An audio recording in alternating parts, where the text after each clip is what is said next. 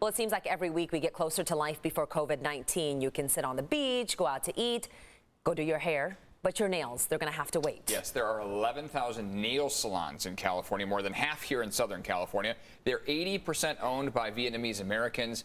We also have 110,000 licensed manicurists. Owner of Studio 18 Nail Bar, founding member of Nailing It for America, Christie Nguyen joins us now. Christie, thanks so much for being here. We really appreciate your time. Look, I know you're frustrated.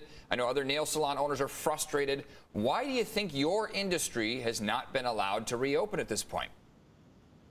You know, that's a good question. Um, we are trying to figure that out ourselves. Um, you know, like you said, hair salons are open, bars are open this um, coming this Friday, um, alongside schools and you know gyms. Um, so we're just trying to figure out why we're not allowed to reopen. I mean, there's some speculation that um, you know with hair salons they work behind you, and with nail salons it's in front of you. But you know, at the end of the day, we have the proper PPEs and shields to protect our clients and our staff. Chrissy, this shutdown is leaving a lot of people out of work. Eric just mentioned some of the statistics. We know you're upset that the governor initially came out and said that community spread of COVID-19 came from nail salon, a nail salon. Now, one industry group is they actually want to sue the governor over this claim to get court-ordered guidelines to reopen ASAP. Do you support it? What do you hope happens? I hope that, you know, Governor Newsom does address the fact that um, the coronavirus and the community spread did not start from a nail salon. That is a very damaging statement, um, you know, and, and for an industry that hasn't even opened yet, um, and to have that linger still is going to be detrimental. Um, the, the xenophobia that follows behind it, the financial impacts of it, the stereotypes, um, the list goes on with that. And, you know, it's something that if he doesn't address it, the stigma will always kind of be there. Um, so, you know, I, we believe it's very, very imperative that he makes some sort of announcement to, to just help our industry revive and just thrive again. We've been looking at video while, while you were talking there of uh, the partitions that are going up, some of the PPE, some of the processes that have been in place to keep things clean and sanitized in there. What Correct. are some of the salons doing to get ready for the moment they hear that they're they're okay to open? Um, it, with my particular salon, Studio 18 Nail Bar, um, we will be doing temperature checks. We will be having clients sign waivers just to acknowledge the fact that we have everything set up and ready to protect them. Um, clients will wash their hands prior to um, to obtaining a service, as with technicians. Um, they will be sitting six feet apart, um, and so for our salon, it's every other pedicure chair and the manicure table. It's only one person on each end, unless you are a minor. Then then you're allowed to sit with the parent um, or, or whatever guardian is with you, um, just to keep our techs apart as well. Um, I mean, th things will be heavily, heavily sanitized. Um, I mean, it, it, will just be a brand new experience with the table shields, the face shields, the face masks.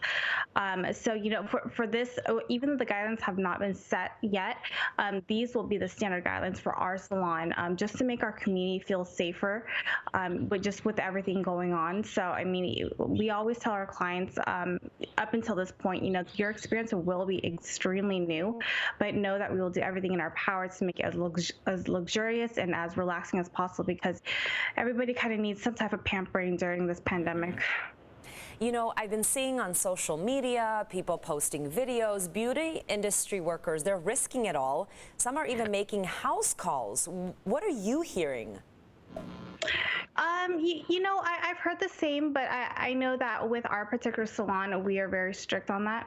Um, and I know a lot of the industry, they they are just hunkering down as well. Um, you know, I have a lot of salon owners and a lot of I, and I know a lot of nail technicians who are who are greatly suffering right now. Mm-hmm. Um, they're not taking house calls. Um, they're not, you know, they're not taking clients behind closed doors because they're they are fearful for their health. And you know, at the same token, you know, they're following the orders that California has given them. So we're just um, me alongside every other nail salon owner and every nail technician, we're just waiting for the green light. Real quick, Christie, what can people do to help out their uh, fellow business owners here? Um, I would say be there on, on day one. Call in to make an appointment. Um, buy gift cards. Um, you know I, I, know a lot of our clients our regular clients have really really helped us mm-hmm. in purchasing purchasing gift cards because we're close to being closed for three months now. Wow. um, no rent help we're still paying the, the same amount. Um, you know so i mean every little bit helps especially if it's a small business um, you know because we we don't have as much help as you know the large corporations unfortunately but you know so i mean we rallied together as a community as a team and so you know that's how um, our particular salon is able to survive but i know that going forward um, with uh, in reopening about 20 to 40 percent of nail salons will not reopen Wow, that is so detr- detrimental. That is so sad to hear.